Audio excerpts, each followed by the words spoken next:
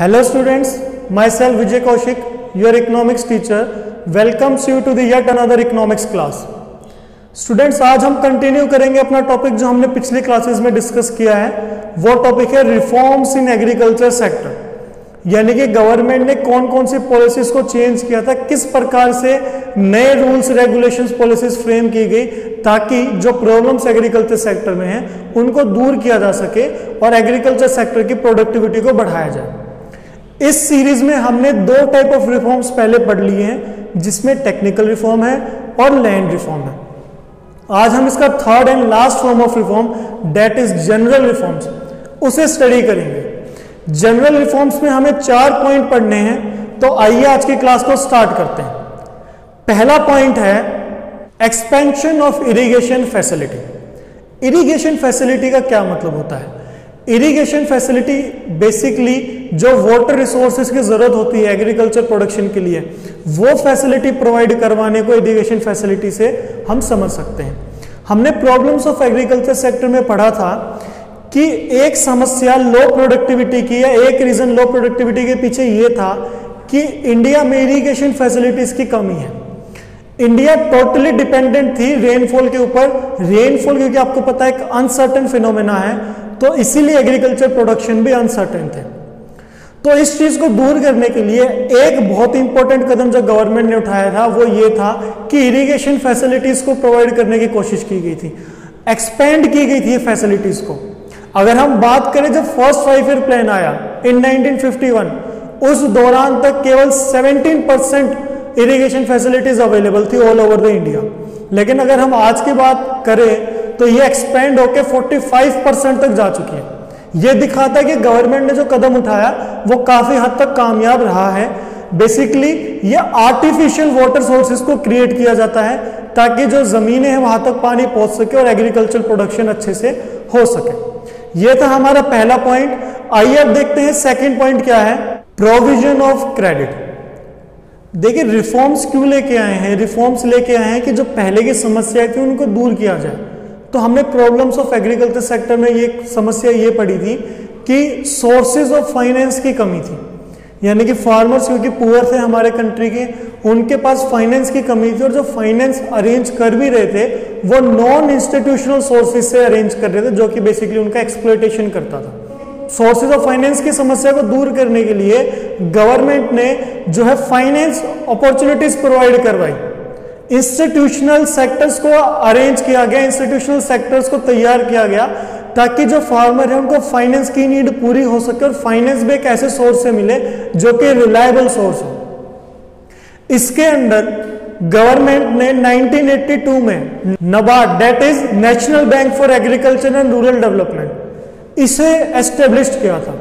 Basically इसके अलावा छोटे छोटे और बहुत सी ऑर्गेनाइजेशंस एस्टेब्लिश की गई थी, जैसे कि आरआरबीज रीजनल रूरल बैंक्स और कमर्शियल बैंक्स तो प्रोवाइड करवाते ही ये loan basically 72 percent of the total institutional finance provided by the commercial banks NABARD इसमें बहुत इंपॉर्टेंट इसलिए है क्योंकि NABARD is the apex institution rural development और एग्रीकल्चरल सोर्स एग्रीकल्चर सेक्टर को फाइनेंस प्रोवाइड करवाने की जो अपेक्स बॉडी है मतलब कि जितने भी बॉडीज काम कर रही है फाइनेंस प्रोवाइड कराने के लिए, उन सबके हेड नबार्ड है। जैसे कि अगर हम कमर्शियल बैंक्स की बात करें तो उनका हेड कौन है? Central bank so so, government ने बहुत सी ऐसी ऑर्गेनाइजेशन एस्टेब्लिश की जिनका काम ये था कि किसानों तक लोन प्रोवाइड करवाया जाए उनको फाइनेंस प्रोवाइड करवाया जाए और वो भी एक रिलायबल सोर्स से प्रोवाइड करवाया जाए।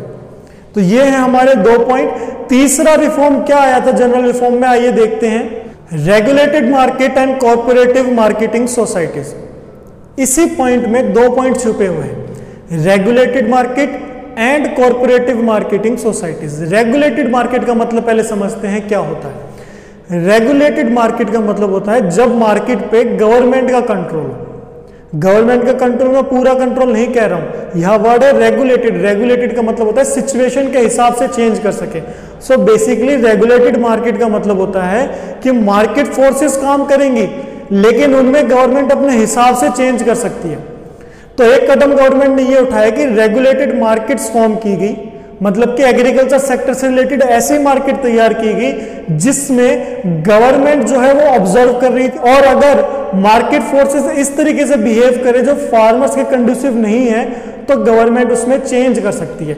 जैसे कि जो इनपुट्स हैं, अगर मान लीजिए ज़्यादा हैवी प्राइस पे इनपुट्स प्रोवाइड करवाए जा रहे हैं फार्मर्स को तो गवर्नमेंट उनको कम प्राइस पे प्रोवाइड करवा सकती है। जो एग्रीकल्चर प्रोडक्ट हो सकता है मार्केट में कम कम प्राइस में बिक रहे हो तो गवर्नमेंट उसको हाई प्राइस में सेल करवा सकती है। तो ये तो है रेगुलेटेड मार्केट अगर बात करें कॉर्पोरेटिव मार्केटिंग सोसाइटी की तो एक समस्या हमने ये पढ़ी थी कि अनऑर्गेनाइज्ड मार्केटिंग सोसाइटीज थी पहले। यानी कि वो एक ऑर्गेनाइज्ड फॉर्म नहीं था तो उसमें एक्सप्लोइटेशन होता था फार्मर्स का। अब, क्योंकि कॉर्पोरेटिव मार्केटिंग सोसाइटीज क्रिएट की कॉर्पोरेटिव का मतलब हम पहले पढ़ चुके हैं। कि काम जो है कलेक्टिव वे में किया जाए। जो मार्केटिंग हो रही है मार्केटिंग का मतलब purchase of input and sale of final product उसको कलेक्टिवली परचेज किया जाए कलेक्टिवली सेल किया जाए, ताकि जो बार्गेनिंग पावर है बार्गेनिंग पावर का मतलब होता है कि प्राइस को अपने हिसाब से चेंज करवाने की पावर वो ज़्यादा हो सके।